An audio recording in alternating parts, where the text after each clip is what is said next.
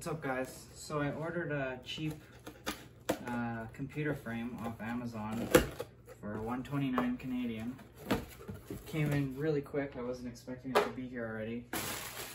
And I had just grabbed some spare parts to build a crypto miner. So I actually grabbed uh, this motherboard here,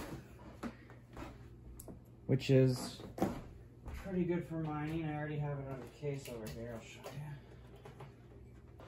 So this would have been great for mining because obviously we've already got one, two, three, four, five. Uh, we could add an adapter on the M2 if we wanted. And then obviously we can turn one of these into four. But turns out this thing's an i5 uh, 6600, which isn't I mean, it's not bad. My old computer that I was mining with, that's downstairs mining right now, is a way older i5. So what we're gonna do is build this open PC frame from China, try that out. And we'll use this cheaper uh, Cooler Master cooler on it. We're gonna use a 1050 watt Thermaltake uh, we're gonna use 16 gigs of DDR4 and a solid state drive. So we'll actually open this up and I'll cut to a picture and show you what it's supposed to look like assembled. And uh, we'll build the frame and then we'll throw the board all on and I've ordered a mining frame that I'm just waiting to come in. And once that comes in, I can build the mining frame. I don't know if it's actually going to be uh, what I ordered because it was $11, so it's kind of a test uh, whether this is a scam or it's actually a mining frame. So I guess we'll see. But yeah, uh, seems like a pretty basic uh, pretty basic parts here, so I'll get everything pulled out and we'll get back. All right, so this is everything that comes with the kit, just your main bars, all your bolts and everything you need. It comes with a power button, which is kind of nice, uh, a power supply bracket and fan bracket. So I'll set this thing up on a tripod and I'll quickly time lapse it. We'll get it all put together and uh, make sure the motherboard and everything's set up right to fit and we'll put the computer together.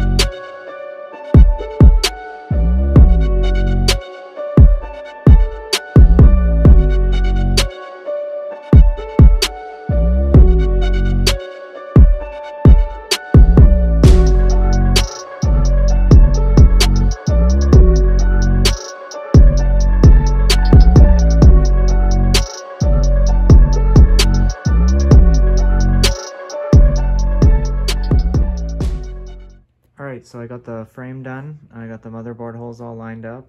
Uh, it's all it's pretty sturdy. So I just have to finish up putting on the little parts and the, the caps and stuff, and then we can get to putting the actual computer together. Alright, I got all the brackets on, just some fan brackets on the front. We got the power switch. I'm not sure if I'll leave it there, we'll see where everything lines up. We got the SSD mounts.